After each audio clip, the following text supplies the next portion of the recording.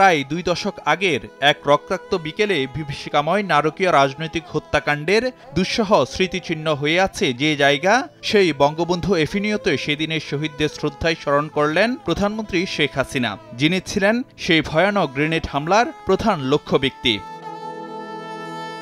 একুশে August, grenade হামলায় নিহতদের স্মরণে সোমবার সকালে বাংলাদেশ আওয়ামী লীগের কেন্দ্রীয় কার্যালয়ের সামনে স্মরণবিধিতে প্রথমে সরকার প্রধান হিসেবে শ্রদ্ধা জানান শেখ হাসিনা। এরপর দলের কেন্দ্রীয় নেতাদের সঙ্গে নিয়ে আওয়ামী লীগ সভাপতি হিসাবে আরও একবার ফুল দিয়ে শ্রদ্ধা জানান বঙ্গবন্ধু কন্যা।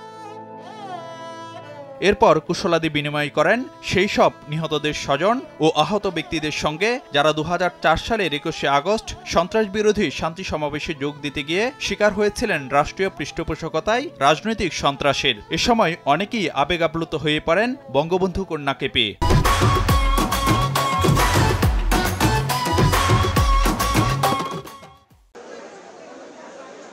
পরে এক মিনিট নিরাপত্তা পালন করা হয়। একুশে আগস্ট সহ গণতান্ত্রিক অধিকার আদায়ের সংগ্রামে নিহতদের স্মরণে। যারা শাহাদত বরণ করেছেন নিহতদের আত্মার শান্তি কামনায় দোয়া মোনাজাত পরিচালনা করেন জাতীয় মসজিদ বাইতুল মোকাররমের সিনিয়র পেশ ইমাম। সংক্ষিপ্ত আয়োজনের এই আলোচনা সভায় সভাপতি হিসেবে বক্তব্য রাখেন আওয়ামী লীগ প্রধান শেখ হাসিনা। ফারুক ভিয়া রবিন সময় সংবাদ ঢাকা।